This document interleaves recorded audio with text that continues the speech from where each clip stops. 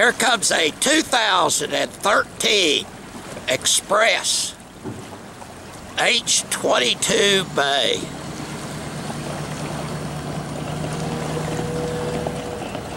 We installed a tower on this boat and then sold it. We didn't even have it on the lot more than about three days.